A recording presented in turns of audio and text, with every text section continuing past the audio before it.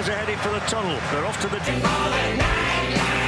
To the round of 16, Nigeria needing a draw to advance. 14th minute, Banega with the lovely ball over the top. Lionel Messi fires it in, his first of the tournament. 1-0 for Argentina. Messi scores his 65th. Movement, great ball from Banega.